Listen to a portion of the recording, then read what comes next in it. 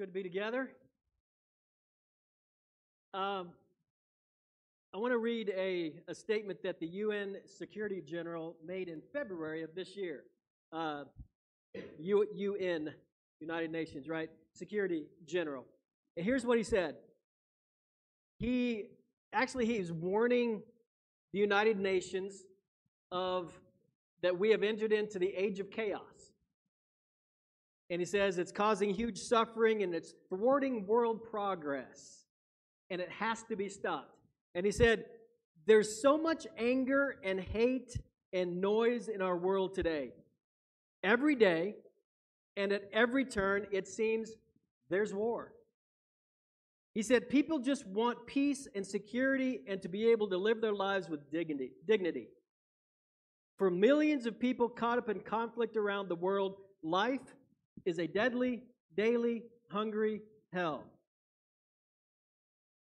Pretty straightforward uh, thesis or analysis of, of our world. He said it's, it's chaos.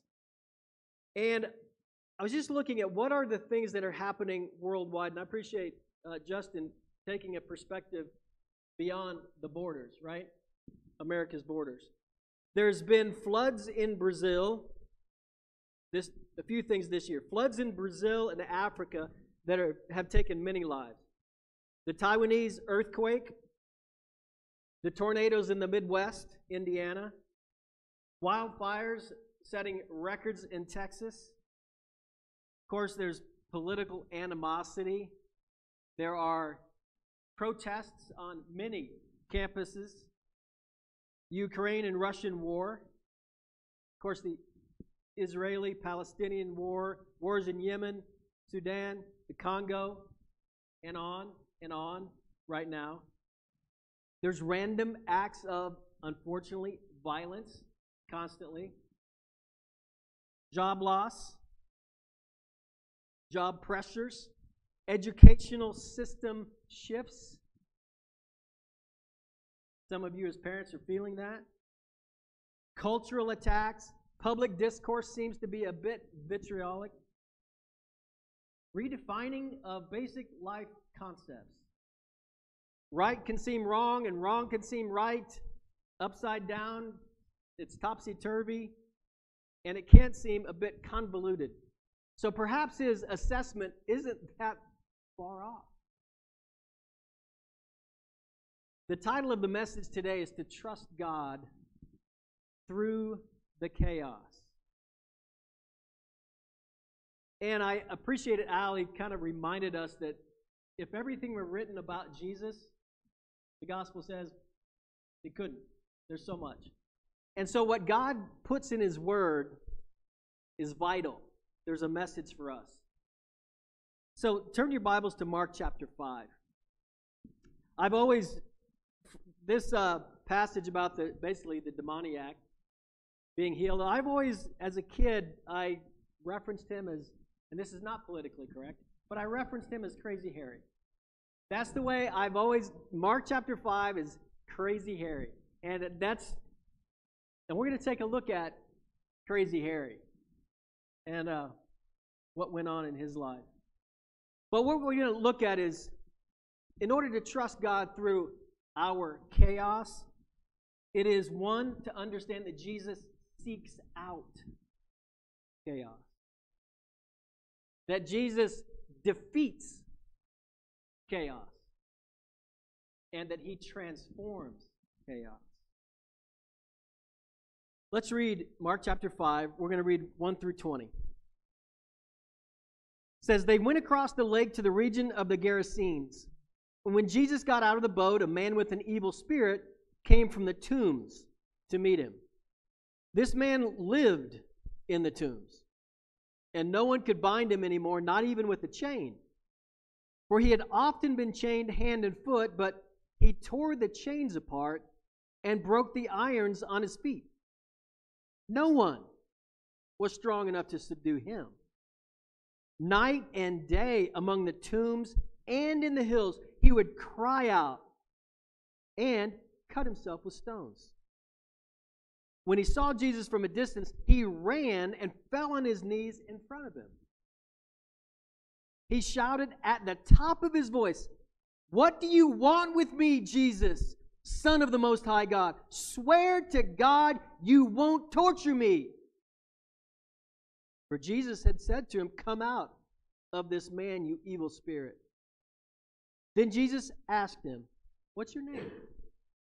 My name is Legion, he replied. We're many.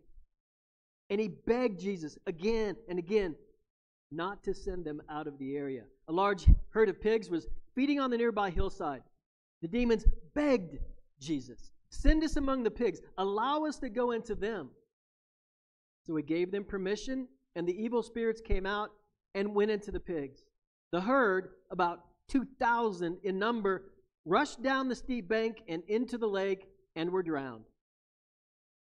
Those tending the pigs ran off and reported this in the town and countryside, and the people went out to see what had happened. When they came to Jesus, they saw the man who had been possessed by the legion of demons sitting there, dressed and in his right mind. And they were afraid. Those who had seen it told the people what had happened to the demon possessed man. And they told them about the pigs as well. Then the people began to plead with Jesus to leave their region. As Jesus was getting into the boat, the man who had been demon possessed begged to go with him. Jesus didn't let him, but said, Go home to your family and tell them how much the Lord has done for you and how he's had mercy on you. So the man went away and he began to tell in the Decapolis how much Jesus had done for him, and all the people were amazed. This is this story, this, and it's not a story, right? It's an incident in the life of Jesus, and it's recorded in all three of the synoptic gospels. Now, it, if something's in the Bible once, we're all good. There's a reason this is a story that all three of those who wrote the synoptic gospels listed. What is the message God is wanting us to hear? And I believe it is to trust Jesus through your chaos. But I want to hit something right off the bat. Talks about demon possession. We don't talk about demon possession very. I, I can't remember the last sermon. Let's today's title is demon possession. It just doesn't happen much, and you A to Z. You might be of a, a persuasion conservative. Demon possession passed away when the apostles died. It just that that stuff just doesn't happen anymore. I'm not saying that's right or wrong. Uh, others of us might be like, you know, you pray and you're like, God, cast out the demon of doubt or the demon of sickness or whatever. Or you might fall in between. Well, I, I've got good news for you. I have no idea. So we're not going to go there about demon possession and that all right? But I don't want us to be distracted from the message because that's a, hey, I think there's a lot of things in the scriptures that God says, again, things are hidden, but it's, it's our job to search it out. Um, and then the whole thing, yeah, 2,000 pigs belong to someone and gone. It's like, well, did Jesus not even care? Really? You just destroyed this that's not the, the message that I believe God wants us to get per se, but on your own, go back and study that out and ask, why did Jesus do that? All right? But Jesus seeks out chaos. In chapter 4, verse 35, you don't need to turn there, but says that this is right before this incident. Jesus says to his disciples, That day when evening came, he said to his disciples, Let's go over to the other side. So they're on in Capernaum, the Sea of Galilee, and five miles across is this place called the Gerasenes. Five mile boat trip. Jesus says, Guys, let's leave and go to the other side. I believe Jesus went there very purposefully, not just let's get away from the crowds. Because he could have gone anywhere, and that wasn't the shortest trip he could have taken. But he went to the Gerasenes. And as you read through the story, you find out that it one, it's the area where the Decapolis was, which is Gentile. Jesus was in Judea, Galilee, his country, and he left his country and he went to a very Gentile area, not to the Jews. In fact, that's why there was herdsmen who had pigs. You wouldn't find a Jew herding pigs. It was unclean. So this was a very Gentile area that Jesus specifically went to. And when it was all said and done, Jesus got into the boat and went right back to Capernaum. I don't think it was a coincidence that he went there and found this man. I think Jesus, we, we like to think, well, don't have an agenda. I think Jesus had one. It's called, I'm going to save this man. And he's going to do it for a bigger purpose, too. But I'm going to go there, and we'll, because we'll look at this guy. It wasn't like hidden and no one knew about this guy. But Jesus is purposeful. He's very purposeful in our lives. He has an agenda, if you will, and it's a good one, but he has a plan. He's not just happenstance. Remember when the messengers came to Jesus and was it Herod says, "Hey, Herod wants to kill you." He says, "Hey, tell that fox, I'm going to drive out demons today and tomorrow, and on the third day, I'm going to reach my goal. I'm going to Jerusalem." Jesus was that kind of man. He was on purpose. And so when he goes, he seeks out crazy Harry. And it was for him, but Jesus is, God is the only real multitasker. He went there for this man, but also it was to go see the Gentiles. And if you read through the whole Gospel of Mark, there's only one other time, I believe, maybe two, where he goes outside of his own country. And so it's very specific. He's going to go there for this man, but also he wants to reach the Gentiles because the gospel needs to go there too. So sometimes in our lives, we think, what is God doing in my life? Like this, this man. He came to meet his need, but God's doing something beyond that. When he's working in our life, it's not just us. And so sometimes we ask, well, why didn't God answer my prayer in this way? Because this seems like it would be the right thing for me, or the right thing for my family, or the way that's gonna I can be used best. And God's like, but it's not just about you. That was a lesson my wife tried to teach me for about the first 20 years of our marriage. It's not all about you. It took me around 25 years to get that. But that's the way we can be sometimes in our walk with God. Why is this not happening? Because, and God's like, it's not all about you. It's all about you, but it's not all about you. This man's life was chaos, is the best way to describe it. I won't re- uh, turn to the Gospel of Luke or Matthew, but there's a few details that they give along with what Mark did. Here's what this man's life was like he lived in the tombs. When I go for a run, there's my favorite place to run in Lenoir City is one of it's the it's the uh, cemetery. And some people, when I tell them that, look at me like James is looking at me. Okay, all right. I, that's where I run because it's quiet and there's not a lot of traffic, and I'm out in the country and but this man, that's, that's a little weird. I get it. But he lived in the tombs. Bible says no one could subdue him. Oh, they tried, but no one could actually subdue him. They put guards. That's either Matthew or Luke. That didn't work. They chained him, shackled him, hands and feet, broke chains, broke them. He would scream and cry out. That would make you uncomfortable.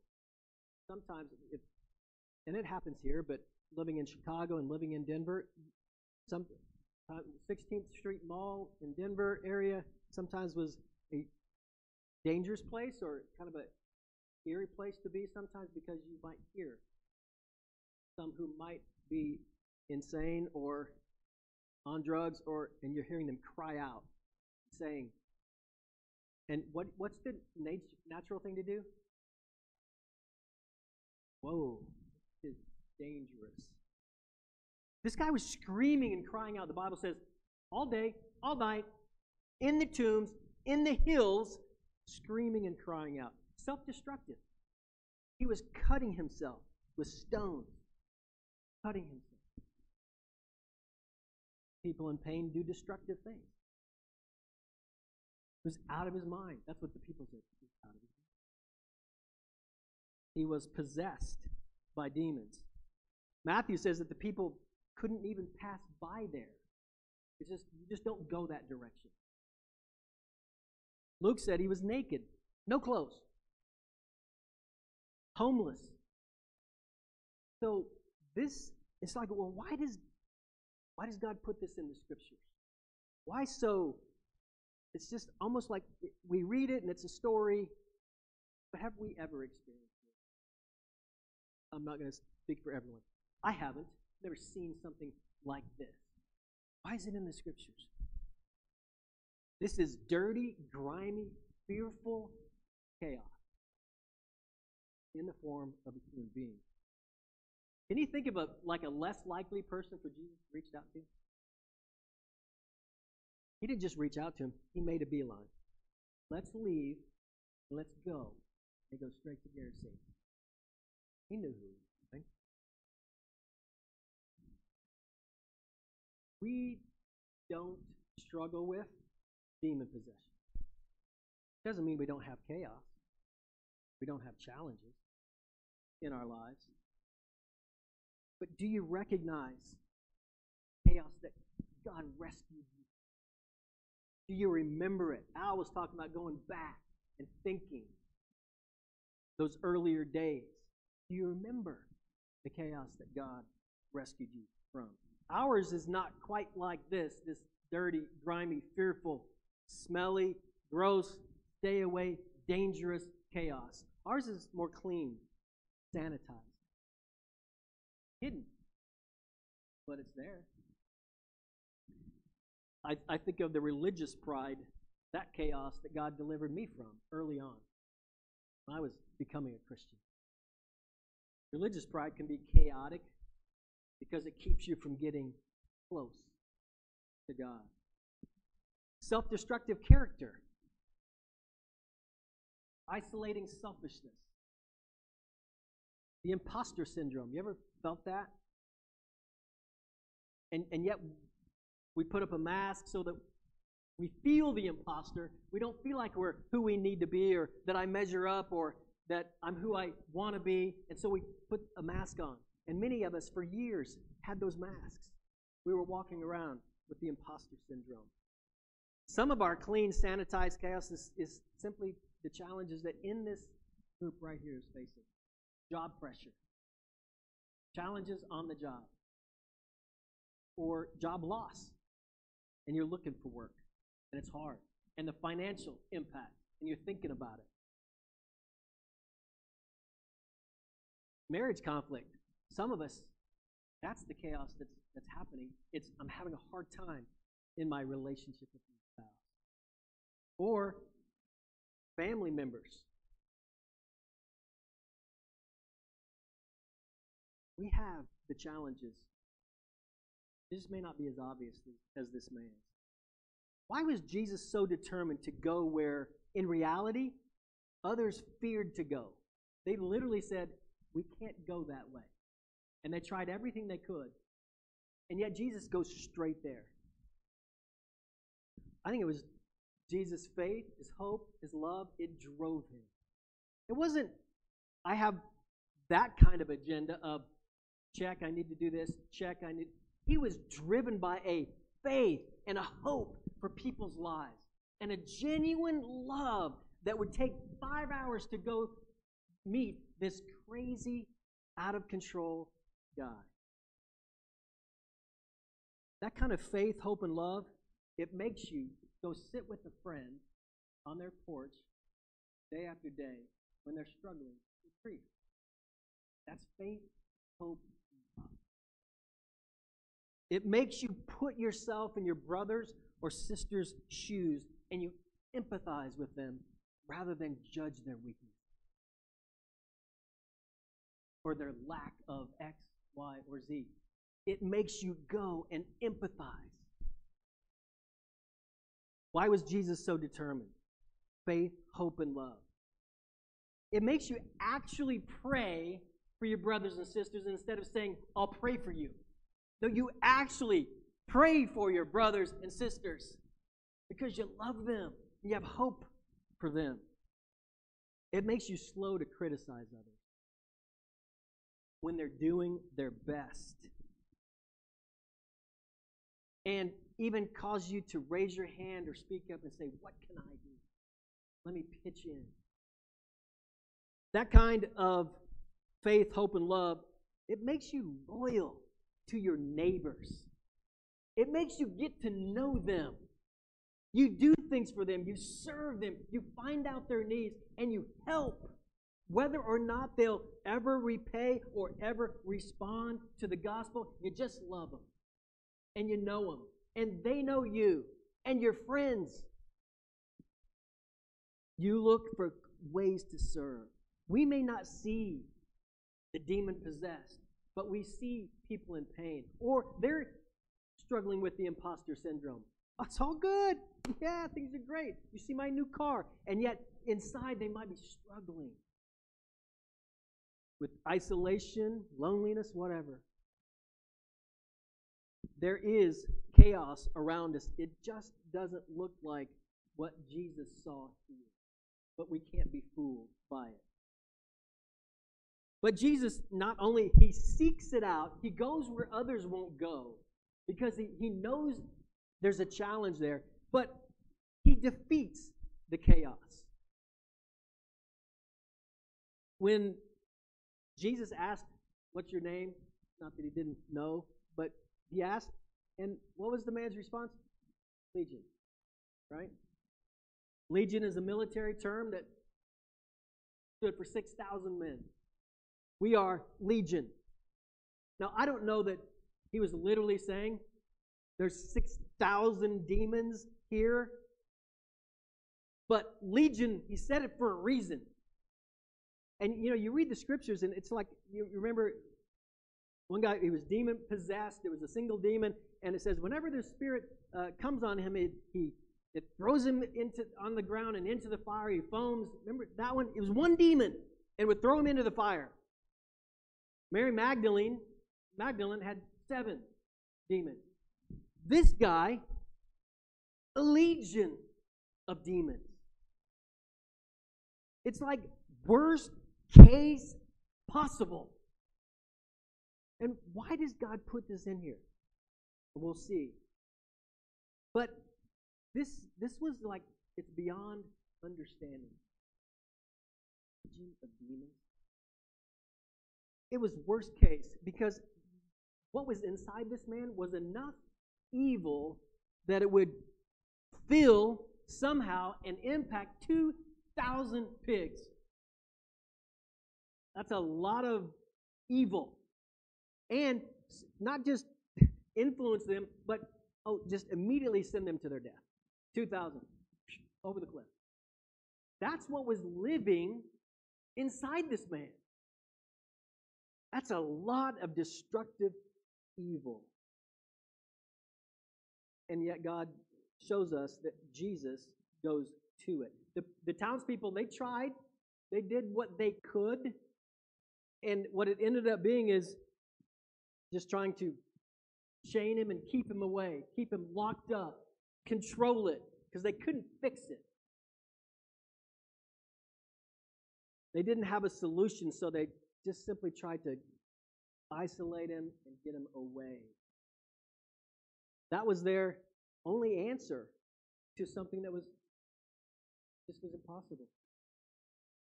And in our lives, we may try our own remedies.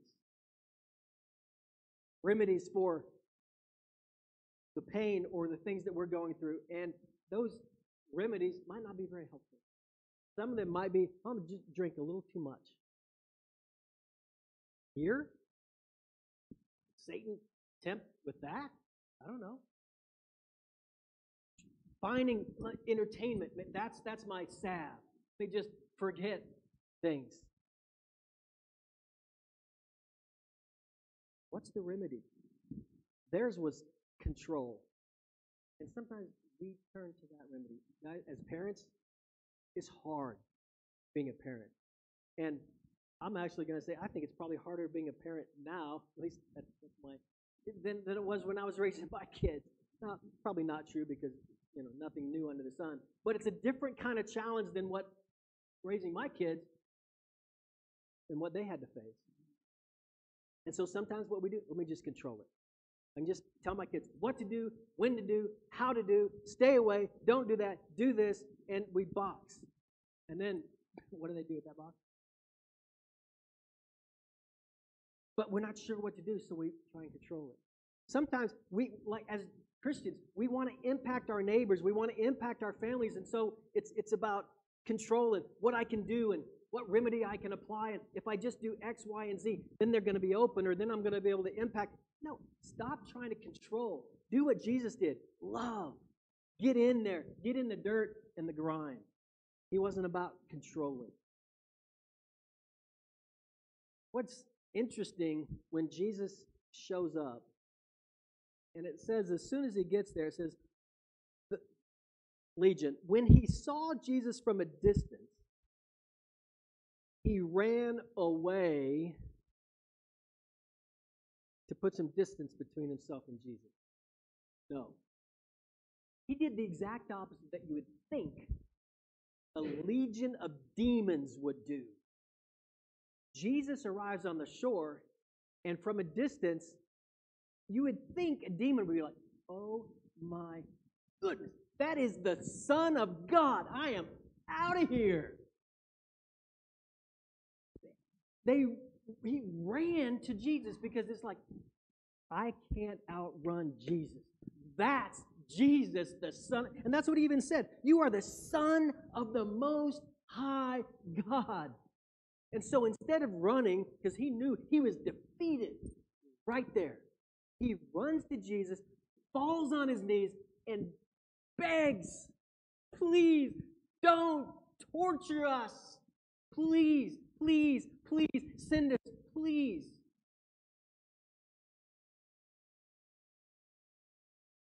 Evil seems intimidating, but it whimpers in the presence of Jesus. Jesus didn't, he didn't even start to cast out the demon. He just arrived, and the demon surrendered. Done. It's over. No situation, none, no situation is difficult for God. Not one.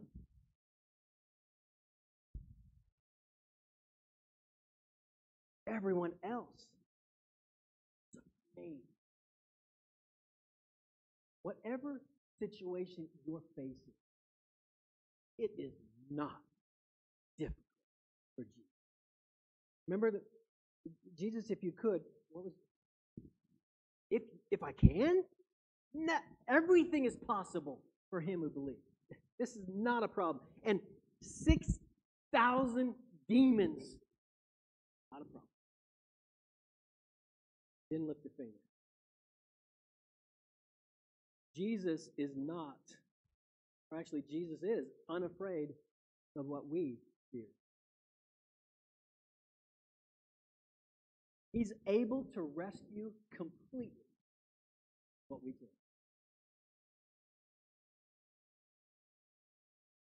He brings victory from absolute utility. Not a chance. It's like the uncontrollable versus the unstoppable. So therefore, there is no way. It seemed like it. 6,000 demons. But he met the unstoppable. What situation are you feeling like it's out of your ability? It's beyond your ability to solve. Don't have the answer. I've tried a few things. It's not. What situation are you feeling is out of God doesn't care, God wouldn't move. Who, perhaps, have you given up on? This family member, too old. This family member, there's no way they're going to be. This family member walked away from God, doesn't want to have anything to do with God. Maybe it's a friend, a family, don't believe in God anymore. Did, but I don't. I don't even think God can do it.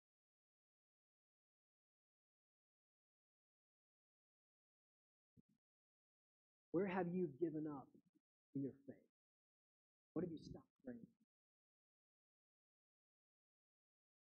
Where have you settled? Maybe you just haven't invited Jesus to the party.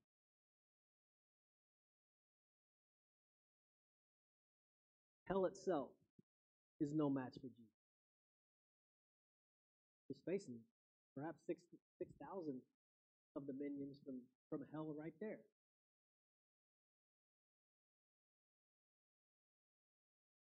Sure. So then when we put it in that perspective, okay, my finances, not a problem for God.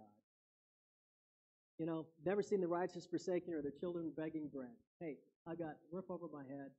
I'm eating better than bread and water. Your kids, how in the world can I help my kids through a, an educational system that perhaps is leading them in a wrong direction? Perhaps. How do I help my kids who are struggling with, or maybe neighbors' kids, they're struggling with questions that we never, it never crossed our minds. And you're like, how do I help lay a foundation? Do I want to have kids and uh, bring them into that even? I'm sure, I know that crosses young people's minds.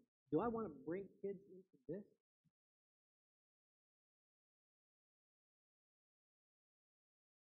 Your job, the grief that you might be facing.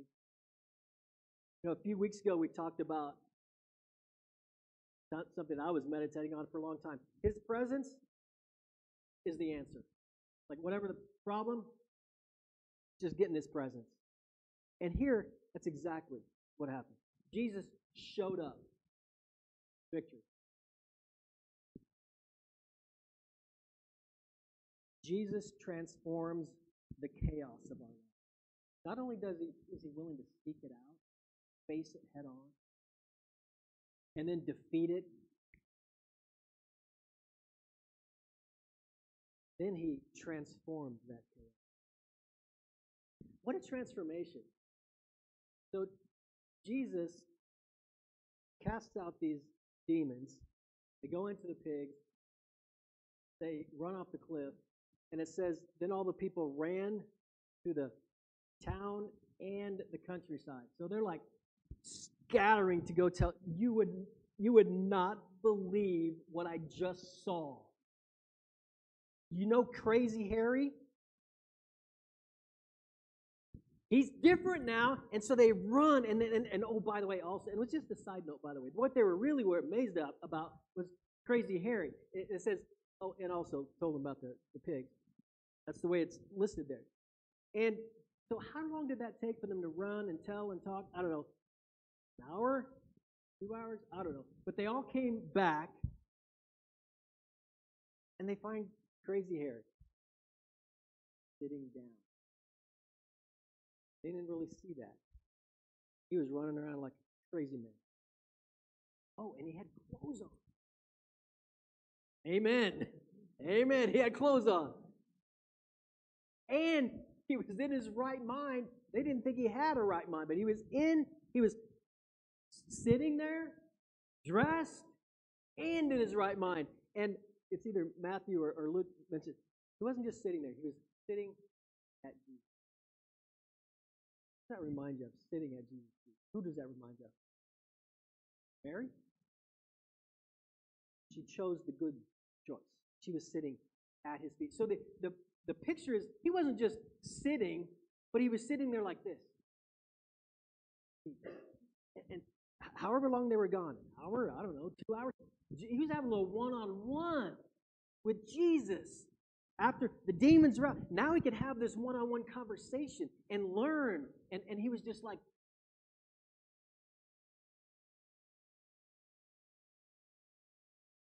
sitting at Jesus' feet, dressed in his right mind, oh, and excitedly sharing his testimony. That's how it, this man was left. But the, the people were amazed. Does your transformation still cause amazement? Do people look at your life and now maybe they didn't know you years ago, but do they know you enough that you can share that and, and what God has done? And they see you're so you're different than what most in the world are. People should see something, and there should be an amazement of our lives. Not because I guarantee you, far from perfect. I sin, as Al reminded. I sin. I make mistakes. I'm selfish. I'm un, uh, you know, I think about myself. I'm faithless at times. I'm lazy. I struggle with all those things. But people should see transformation. There's a difference. And when they saw this man, it was so astonishing they were afraid. Does your transformation still cause them? Interesting that there were three times in this situation that Jesus was begged. I don't get begged very often. First of all, the demons begged Jesus not to torture him. Then the townspeople, it's either Matthew or Luke uses this terminology, pleaded. They begged him to leave. And then the demoniac, the healed guy, he's like, he begged him, please let me go with you. Why all this pleading with Jesus? Because Jesus is Jesus. He is the Son of God. And so he has the authority. He can cast out 6,000 demons without thinking about it because he's Jesus. And so there's that if you want something done, you go to Jesus. But the people were so afraid that amazingly, they asked Jesus something they should never ask. Begged him. Please leave. Sometimes transformation is scary. I see somebody's life, you're like, what if they had asked him? Huh. I wonder what would have stayed. At the Jews initially. What if you What if you invite Jesus to get closer in your life? Instead of, this is enough. I've seen enough. I'm good here. But if you want me. This guy, the transformation of the chaos in his life, he basically was Jesus and the disciples, right? There's 12 of them, plus Jesus. He's like,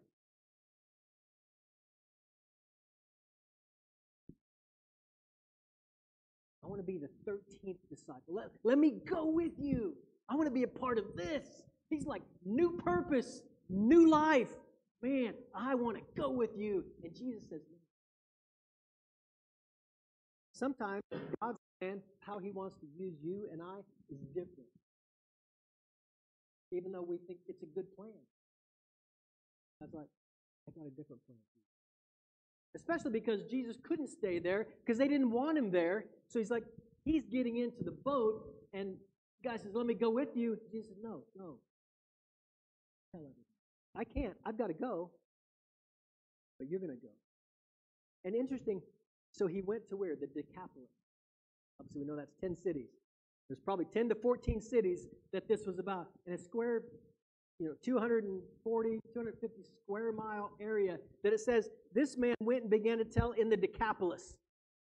This is a one man mission team.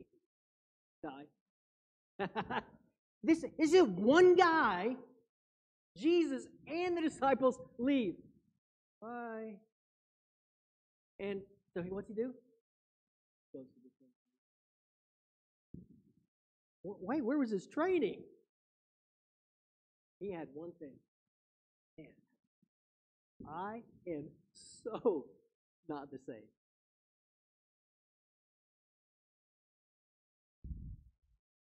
Chaos. Jesus seeks it out. Whatever chaos we're feeling or the challenges doesn't deter. He defeats it without fear. Satan and the demons surrender to Jesus. And then he transforms it to where this man went to, he covered 200 and some square miles, 10 cities, just that's all. What has God done for you? And the mercy He shown you.